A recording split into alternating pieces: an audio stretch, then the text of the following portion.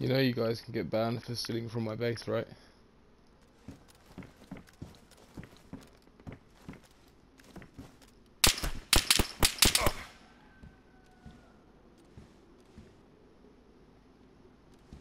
Alright, you're getting banned.